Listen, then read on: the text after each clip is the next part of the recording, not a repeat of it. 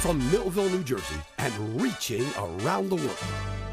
New Life World Outreach Ministries presents His Word of Power with Pastor Richard F. Myers. Join us in a time of joyful worship, anointed ministry, and dynamic preaching from one of our Sunday morning worship services. It happens here on His Word of Power.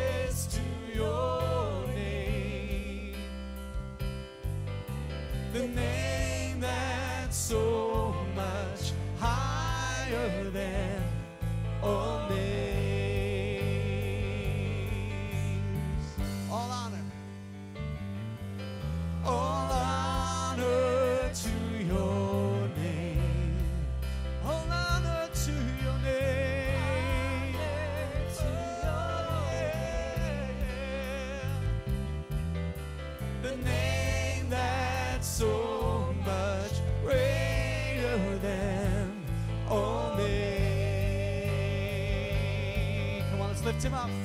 Yes, Jesus. Oh,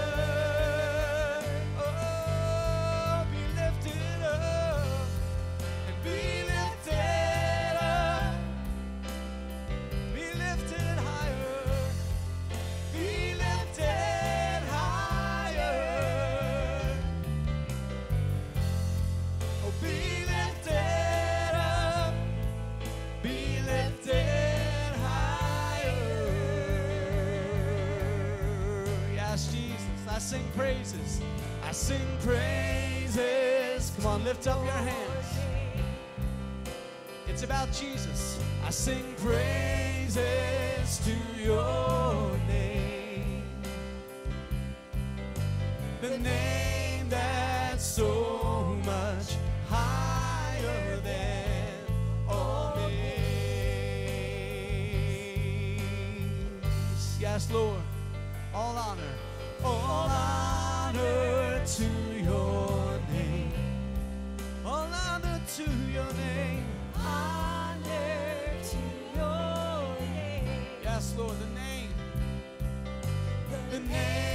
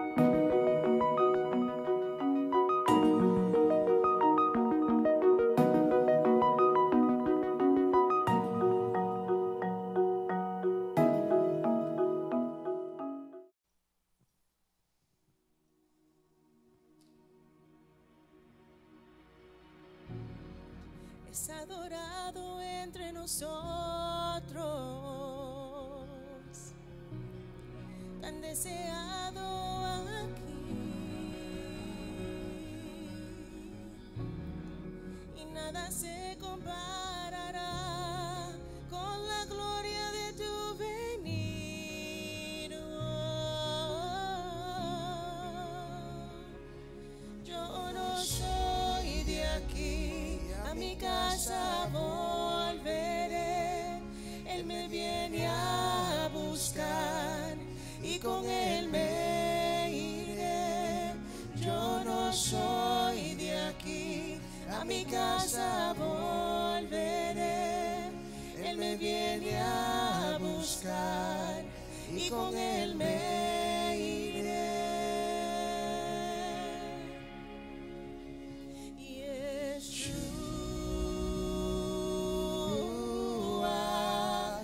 Mesías esperado, Él me viene a buscar.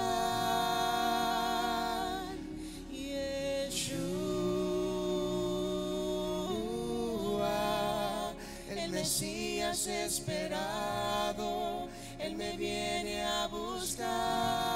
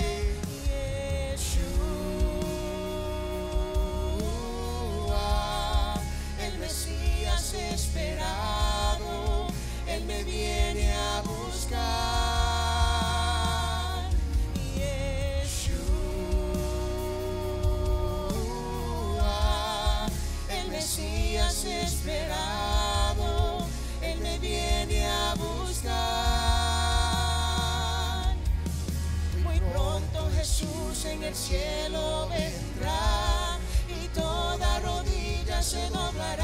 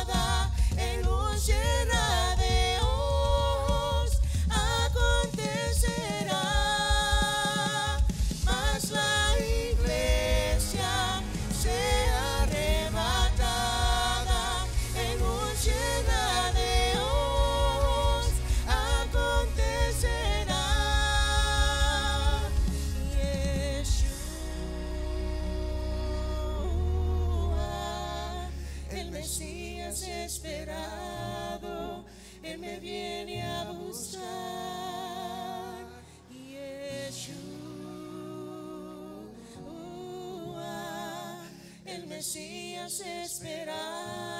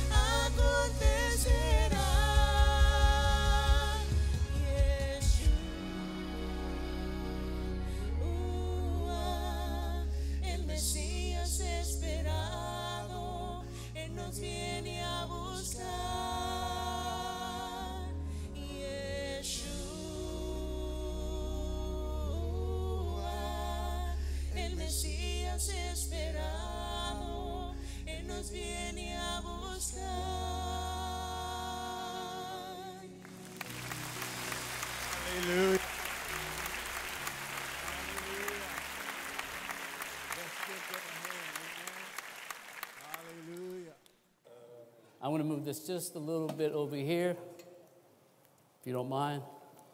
It's part of my sermon. But before we start, we got to lower that down. Lower that down a little bit. Before we start, I don't want to get into this right now. I just need everybody to stand up for one second. I need everybody to stand up for one second. A few seconds. Just stand up, everybody. I want you guys to close your eyes for just, just a minute. I feel a heaviness. I don't know why, but I feel a heaviness. And I want God to release. Because when we leave here, I want you guys to leave free. I want these burdens to fall off your shoulders. Whatever you may be going through in your life, whatever you're fighting through, whatever you're struggling with, I want to release it.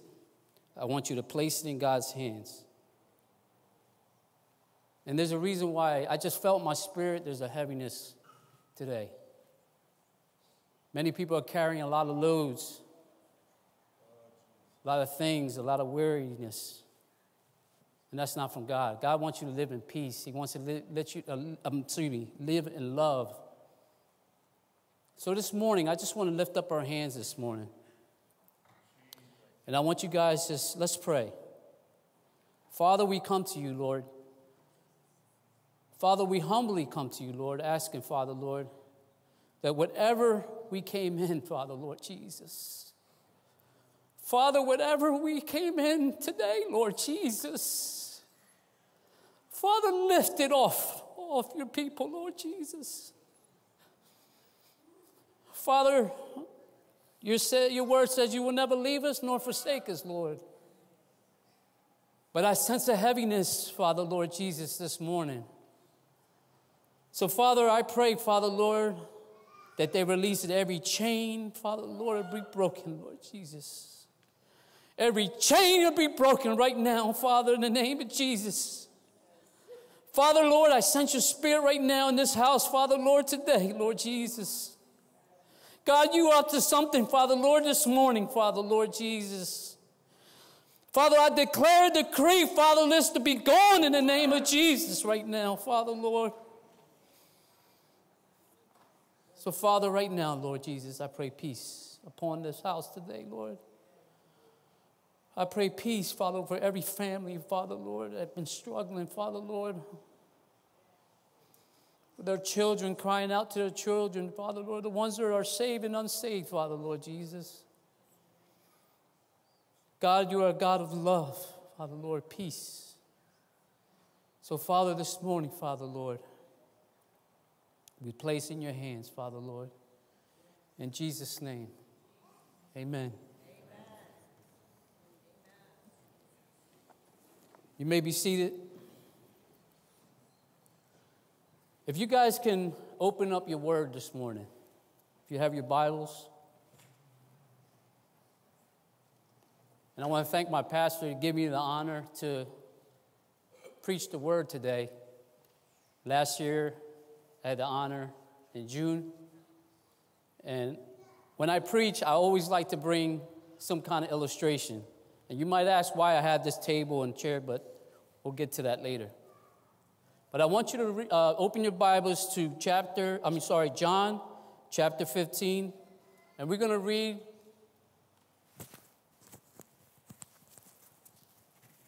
Can you hear me now? Okay. I want you uh, open your a word to John chapter 15, and we're going to read from 9 to 17. And your word reads in the name of the Father, Son, and Holy Spirit. As a father has loved me, so have I loved you. Now remain in my love. If you keep my commands, you will remain in my love, just as I've kept my Father's commands and remain in his love. I have told you this that my joy may be in you, my joy will be in you, and that your joy may be complete. My commands is love each other as I have loved you. Greater love has no one than this to lay down one's life for one's friends. You are my friends if you want my command. I no longer call you servants because a servant does not know his master's business. Instead, I have called you friends. For everything that I've learned from my Father, I have made known to you. You did not choose me, but I chose you. Listen, I did not chose you, excuse me, you did not choose me, but I chose you, and I pointed you so that you might go and bear fruit, fruit that will last, and, and so that wherever you ask in my name, the Father will give you this command love each other. Praise God. Thank you for your word. This morning, I have a title. I titled this message. And the message that God gave me your first love with Jesus. Your first love with Jesus. I brought this table, and I had asked earlier during the week for Pastor Matt uh, if I could have a table and two chairs.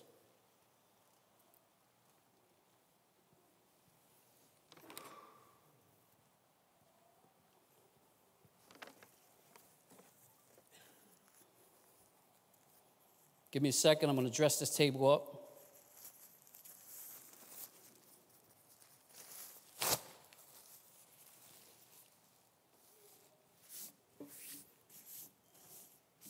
I'm a waiter. You know what a waiter does? He serves, right? So we serve God's people.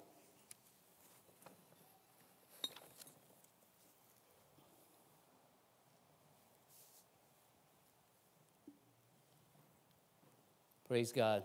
You can make some noise. Well, we're a live church here, right? We love the Lord, right?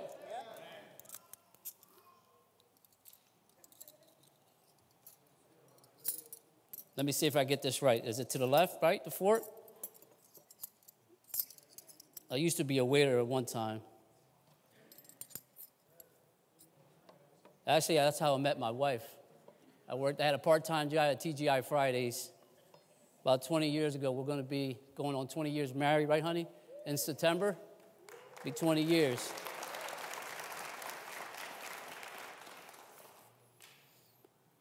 The reason why God led me to show this illustration. Many of us forgot our first love for Jesus. Many times we go through a lot of weariness in life. Sometimes we go through things, situations, circumstances. And a lot of times we lose that desire, that, that, that love that when we first came to God, we, things happen through the years that we serve Him and then darts come at us. But then we have a tendency sometimes where when we first come in, we want to do everything for God. We like on fire. We're, we're, Pastor, we'll do anything. What do you need me to do? I run here, run there. But as the challenges come through our lives, that's when are we walking in faith or are we walking by sight? And we got to get back to the roots of the relationship with God. What are our roots with the, our relationship with God? Prayer, right? Fasting, listening to God, being obedient, trusting, believing. But a lot of times when these things come in our lives and these obstacles and situations when we face, we say, Lord, I ain't got time for you. At one point, you desired him. At one point, you made time out for him throughout your day. But then we get busy. We tend to put God, God, I'll give you five minutes of my time, and we set them to the side. But see, what God wants is that, matter of fact, I'm going to use a couple for one second. Jeremiah and Brianna, come over here. I'm going to put you on the spot for, if you're okay. With, I know you guys are the newly couple here. I want to bring you guys on the spot for a minute.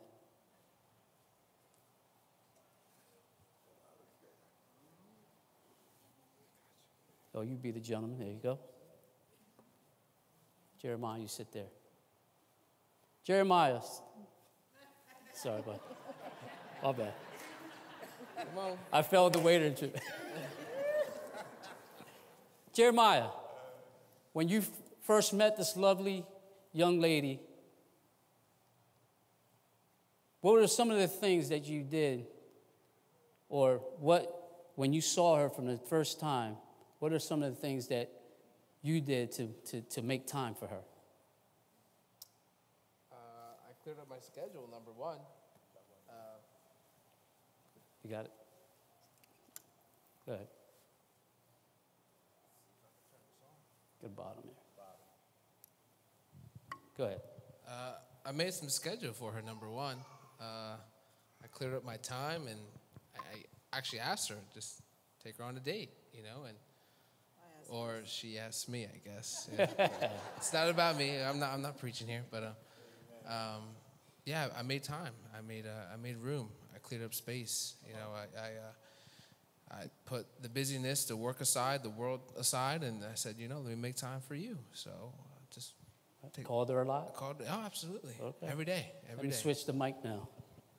What did you do when you first met this young, handsome young man there? Well, I uh, asked him for his number. Um, and uh, we were intentional. Uh, we were intentional about our time together. We were intentional about what this was. We weren't playing. Um, I was not dating him to date him. I was dating him to marry him. So Praise God. Praise God. Now, this is the kind of relationship that God wants. Because God is a jealous God and God loves us. Thank you, guys, real quick. Thank you. Give him a plug.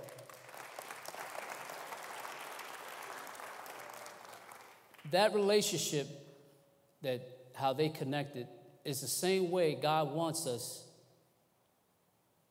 to um, love Him, spend time with Him, talk to Him, even when, if you're single or married, but if God was sitting across from me and I would say, God, how are you doing today? God, I need you, Lord. Lord, I'm going through my struggles financially, emotionally, spiritually.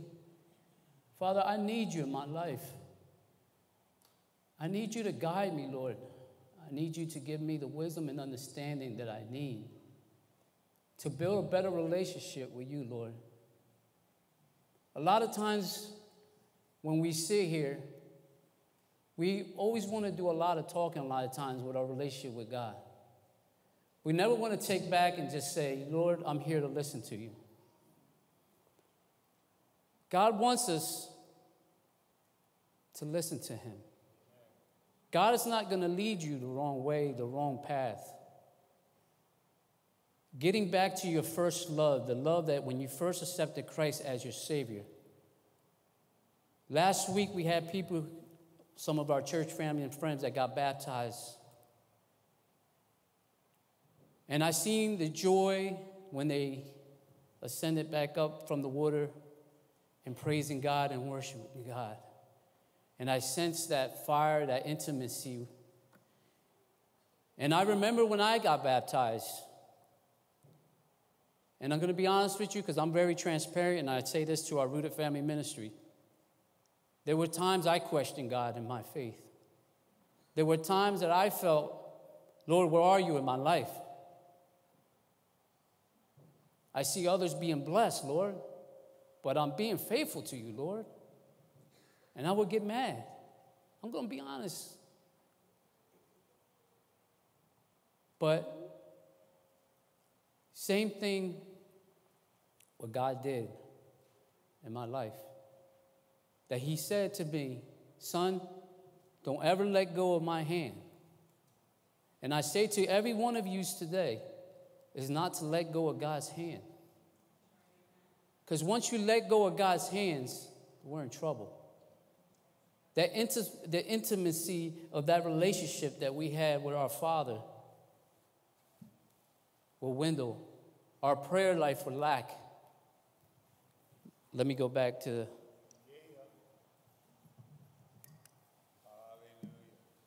And I thank you, Jeremiah, Brianna. I hope I didn't put you on the spot. The fire you had for Jesus when you first came to the Lord. Those things like prayer and reading your word, your uh, uh, fasting. Don't abandon your first love.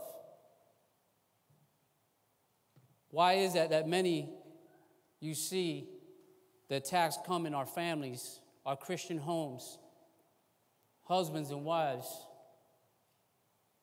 are not in one agreement. And one of our mission statement for Rooted Family Ministry, as for me and my house, we will serve the Lord. Joe and Sue, y'all been serving how many years you've been serving with the Lord? How many years together? 29 years married? 29 years. Praise God. Through those years that you guys have been together, did you face trials? Tribulations? Many, right? But you persevered through all those obstacles. And today, there are witness to be faithful here in this one church under pastor's leadership for 29 years. And that's, a, that's beautiful to see because many times when we're serving God, we have a tendency to backpedal. And God doesn't want us to backpedal. Don't let the devil get between your relationship with God. Because once he gets in between your relationship, see, the devil comes to rob, steal, and destroy. My brother Melvin, I'm going around. This brother here, he touched me when he came up to me. He gave me a hug. This brother here was an ex gang member. And here he is today, serving the Lord and out in the street ministry, giving back, pouring back along with his girlfriend. Has God forsaken you? God's loved you. This guy had a conversation with him last week. And man, he called me for something else. But God reverted the conversation, what we talked about personally. And for you to be here, it touched my heart because I know what you've been through. But God loved you, and you're here today.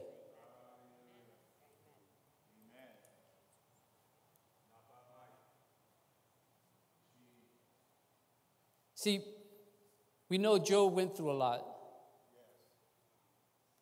You know what he endured. You know the story of Job. This man was stripped from everything. This man was stripped from his family.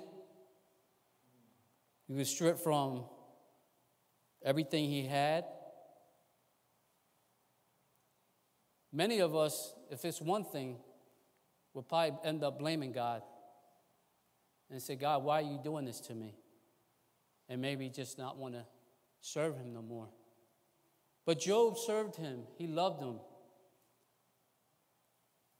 What he went through with his family, his children, his herds got stripped away from him. But through it all, he stood faithful to him. He stood loving him. That's why we got to get back, folks, to, the, to getting back to that first love with, with Christ. And I'm not saying that you don't love the Lord. I'm not, I don't want you to think that, you know, I don't have a prayer life or I don't, I'm not worshiping Him. But you want to have that desire to, to meet Him, to spend time with Him, talk to Him, love Him. He's listening to you. I know that God is a jealous God too, and He wants that time spent with Him. That's why it's important to stay rooted in the things of the Lord. You know, a year, it's been a year and a half now that we started Rooted Family Ministry at the church. And I remember talking to Pastor Steve and at his house, and he asked me, Pastor Tito, what are some of the things that you want to do with our church family? And I sat down with my pastor. I said, You know, my vision for this church is to see our family love each other, grow from each other, interact with one another, participate with one another, enjoy each other's company, build each other up, grow in the, in the things of the Lord, right? This is was the vision that I had with Rooted Family Ministry. And I sat down with Pastor, and then when Pastor Steve interviewed, interviewed me, and it was a nice time at his house that we had. Forward now, a year and a half, I look at it. Can you say our family's growing here, church? Can you say that even through our rooted or even through pastors' gatherings that he has, even through the things that we do here at the church, you see the bond, you see the growth in, in, our, in our families. You know, this brother here, when I feel down, I extend my arm, he picks me up. He encourages me. Pastor John shared a few words. I'm honored that I'm honored by that, Pastor John, because you know what? I look at you like a big brother. And I look at him like family. Amen. Pastor Ron, Pastor Tony, our pastoral staff, Pastor Frank, Steve, along with our shepherd, our house, Pastor Bill, can't forget, uh, he's always so cool and sitting back. But I dearly love him. And it's important that we reach out to people that is going to allow us to grow in this walk, in this faith walk with the Lord. Brother John, I point out to you, Brother John, the bond that we have grown since rooted the men's ministry and everything, right? We've gotten closer, along with his wife. Bill, Diane, many of you guys, Linda, I look at every one of this church family here, at how we have grown together in the things of the Lord. Rekindle your love with God. Don't let your heart not stay ignited. Keep your heart ignited for Jesus. Because once that fire, it's like when you try to pour water into trying to turn it off. I understand if we're doing a bonfire, eventually you got to turn it off. But what I'm saying in the spiritual realm is keep your heart ignited for Jesus. Don't ever allow it to dwindle down. The Lord knows many times when we're walking. And God has, you know, the enemy has a tendency of throwing darts at us when we walking in this faith. But that's when we have to say, Lord, we lift up, we lift up our hands. We continue to walk by faith and not by sight. Because we know that we can do all things in Christ who strengthens us. And when we learn to trust in Him, right? Don't feel sorry for yourself. Persevere to keep going, to keep fighting. In those times that you know that, Father, I can't do it no more. When we just want to just give up, we just want to, I'm going to pretend I have a white towel, but I don't have a white towel on me, but we just want to surrender and throw the white towel in. See,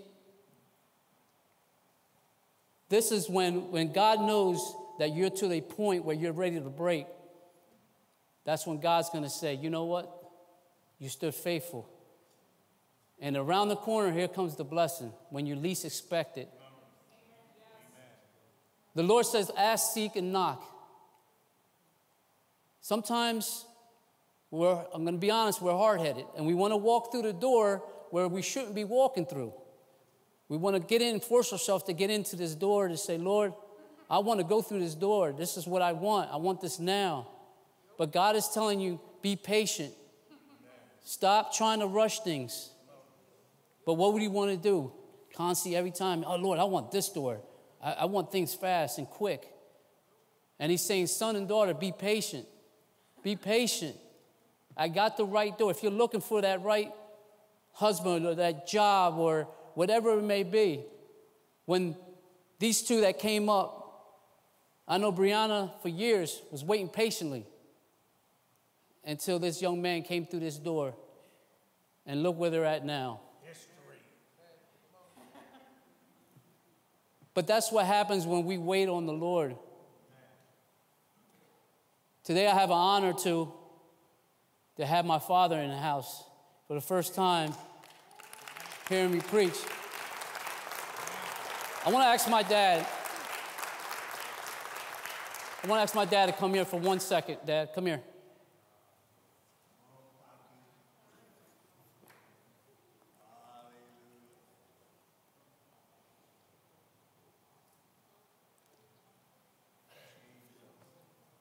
I want to share something very intimate because I'm, like I said, I'm, this man here, try not to get emotional. He's pastor about over 40 years.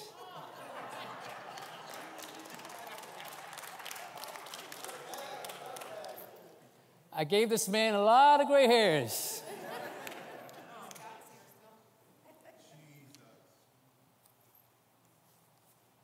You always say to me, Tito, hang with the right people, do the right thing.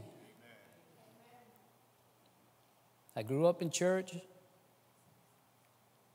but there was a time I rebelled. And I fought this man a lot. Told my dad, stop praying for me. I don't want to hear your prayers. I used to tell him, leave me alone.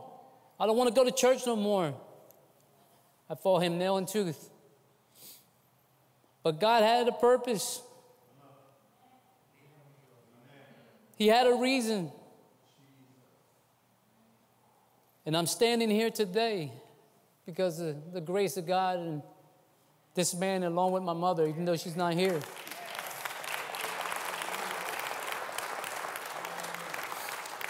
And this is the first time you hear me preach. He couldn't make it last time. But I thank him. And I'm going to say this when I first stepped foot into New Life Church. He heard Pastor preach. And the word that Pastor preached that morning, that when we went home for lunch and we sat at that table, he said to me directly, looked at between, looked at me and my wife. He says, This is the church you need to be planted because this is the church you're going to grow. And 15 years later, I'm up here preaching. I'm up here serving our church. Thank you, Dad. Love you.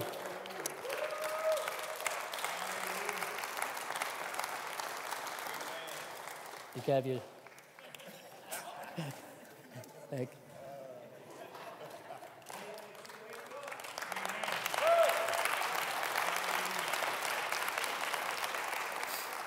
So I'm here to encourage you that you don't have to look back at your future. I was that prodigal son that walked away, like I shared with you. I didn't know my purpose, I didn't know if I had value. And I never shared this. There was one time I sat in the car, even I was younger in my teens, and I never shared this with my father and with my parents because I was very embarrassed. But I want to share it today right in front of you, in front of my whole church here and those that are watching. I almost committed suicide.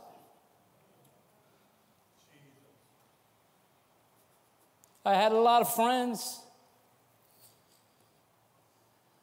Tito, everyone wanted to hang out with Tito. Everybody wanted to go and have a couple drinks. But I felt lonely. I felt pain. I sat in that car. My parents' house was right there. I started weeping and crying. Lord, I don't love myself no more.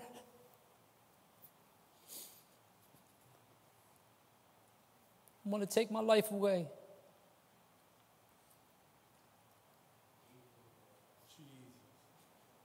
I didn't love myself anymore. I felt like I had no purpose, no value in life. But there was a voice. And there was a voice, even though I departed my ways from the Lord, He, told me He loved me. And I still have a lot for you, son, even when I was disobedient. But God brought me back. I gave myself to the Lord. And I remember that morning at a in Pleasantville, New Jersey, at a at a black Baptist church, Pastor John. Yeah. Come on. I gave myself to the Lord. They said I was the only Hispanic back there sitting in that back pew. But when that bishop came down and he came from that altar. And you know, they dressed up in robes. But that day, Pastor John, he had a white robe. And that, that white robe, he looked like an angel. So when he sat and came up, and I was sitting in that back pew, every word that he had for that morning was from me, directed to me. When he walked, and I walked down and I gave myself as he made the call, and I walked down the aisle. And as I wept all the way down the aisle, he had extended his arms out, and I'm not lying to you. And it was like an angel with his arms. And when he wrapped his arms around me, and he said one thing to me, the bishop, You're home, son. You're home, son. From that day, Right around, I met my wife. I got baptized. And I had that yearning fire to serve the Lord, my prayer life, to talk to God. On my way to work, that was my time to just to be with Him in that moment. I had an hour drive at the time when I was working. And I said, Lord, I'm back home. What is it that you want to do? What is it that you want me to do for you, Lord? And I felt him saying, Don't let go of my hand. Walk with me. I'm going to show you the way. And when the Lord brought me to new life, and I'm a forward a little bit, not to make it long, but when God brought me into new life, I never started up here in these altars. Me and my wife served. I was in that parking lot with Wade. My wife helped out as we did the door as greeters. As greeters, we jumped on these cameras.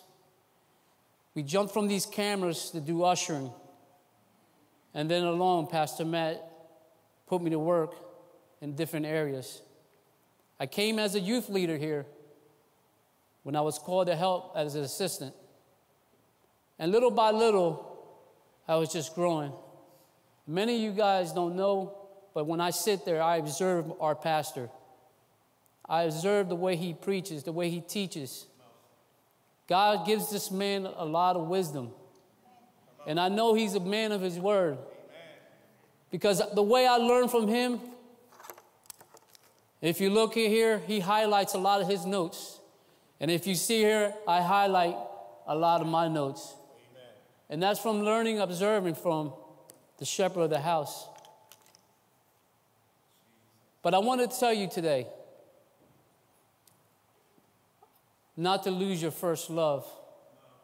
Girls, don't lose your first love. Keep that fire for the Lord. Love Him. Pray for Him. I see the videos you put up on Facebook. You know what? You may not, people may not comment, but you're touching one life. You're making an impact if it's that one person.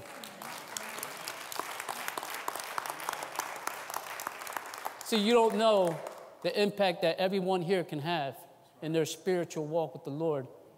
You don't have to sit up in these altars and uh, if you're gifted to play instruments and sing, praise God. But you can make an impact in someone's life. And you don't have to beat somebody in the head with the Bible. You don't have to do Just love. Smile. Brother Frank, you're a handsome brother. Thank you. It makes a difference. You're validating. Pastors talks about this. You're validating someone. You're making someone feel loved. You're making someone feel special. And our, and, and, and our job as leaders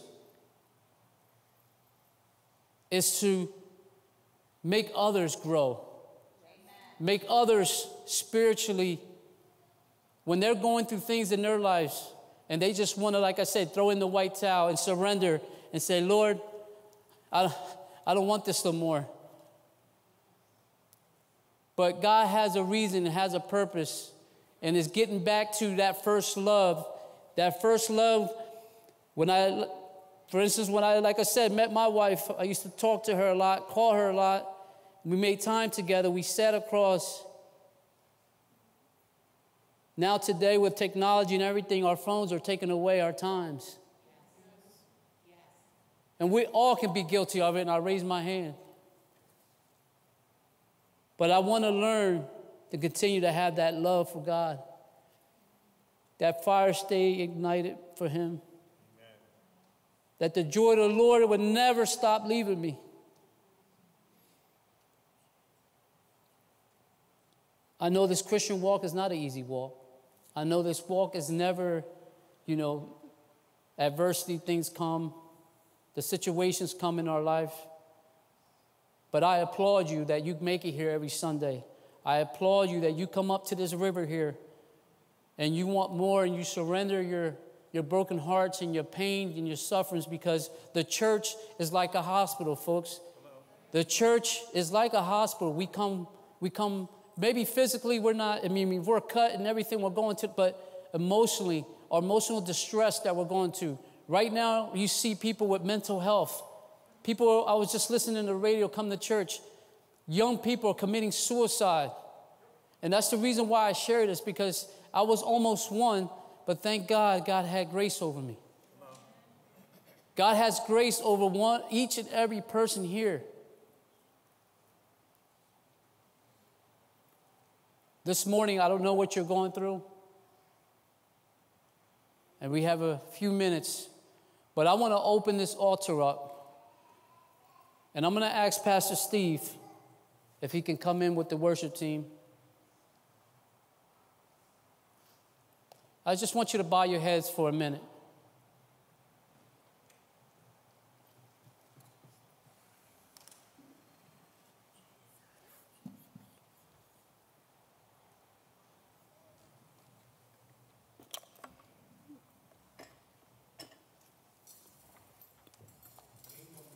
I'm going to ask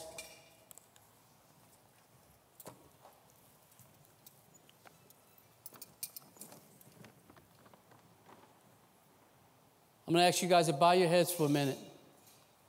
And I want you to think about that first love, the first time that you encountered that per- first personal relationship with Jesus Christ in your life.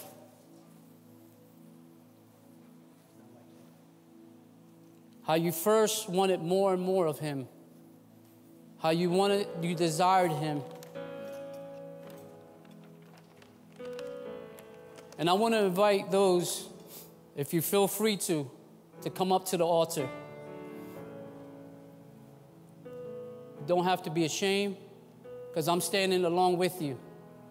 I want that fire in myself to continue to ignite, that fire to keep going in my personal life, in my relationship with my church family, my families. I want to be an example to them, to my coworkers.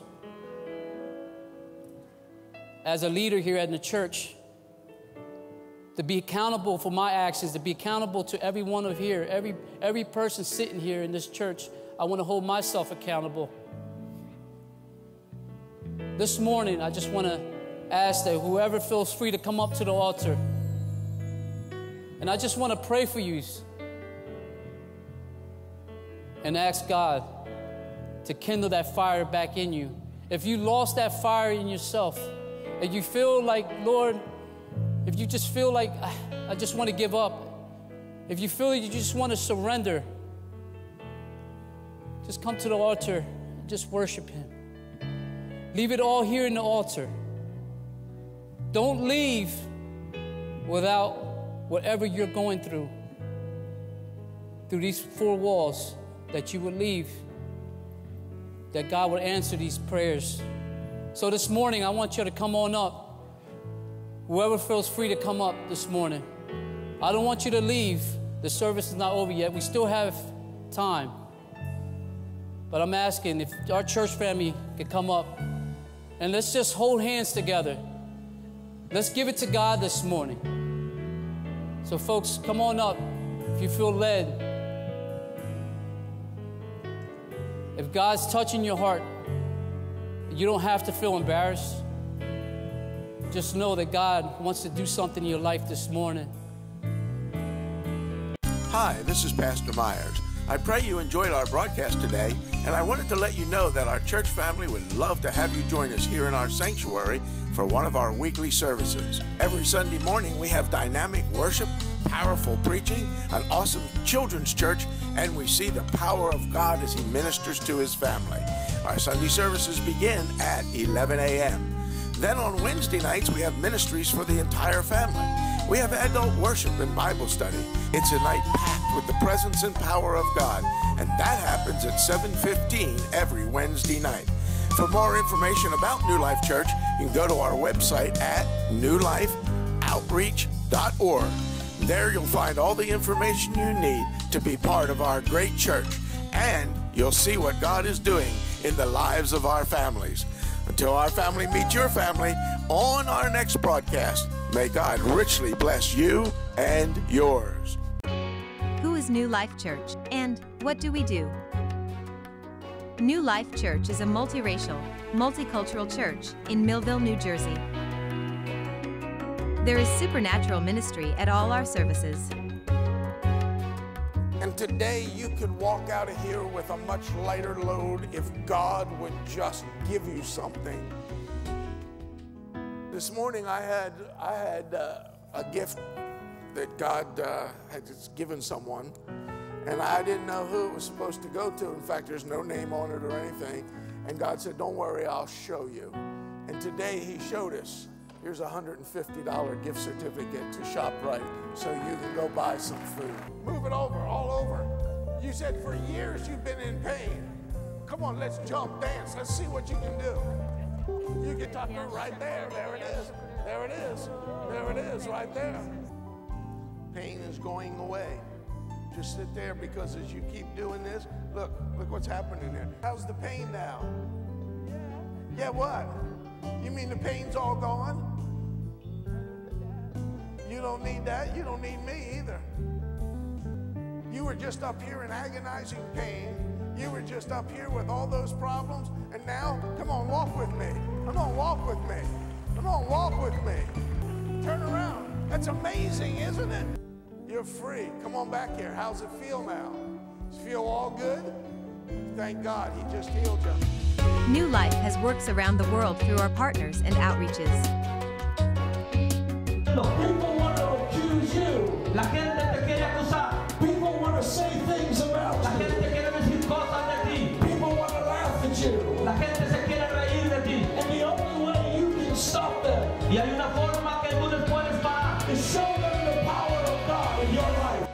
Our mission outreaches reach around the world into 63 nations.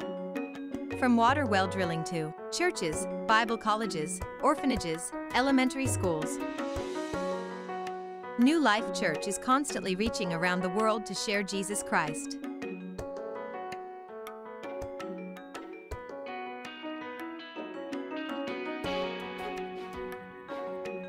And New Life Church it there when disaster strikes.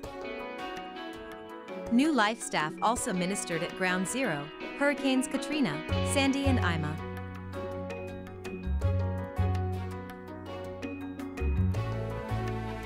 We are helping with outreaches during the COVID pandemic.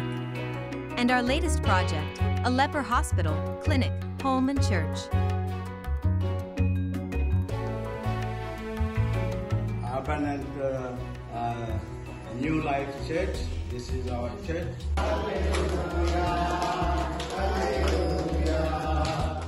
New Life Church is an ever growing, ever reaching ministry that touches the entire family. We offer activities for men, women, kids, and teens. We have programs to help the needy, outreaches to the community, and ministry for every member of the family. We take mission trips, trips to Israel, and join with our ministry partners to share the gospel of Jesus Christ. Church life at New Life is full of activities, outreaches, dramas, and various ministries to meet the needs of the entire family. Our concerts, dramas, shows, and special presentations reach our community with the message of hope.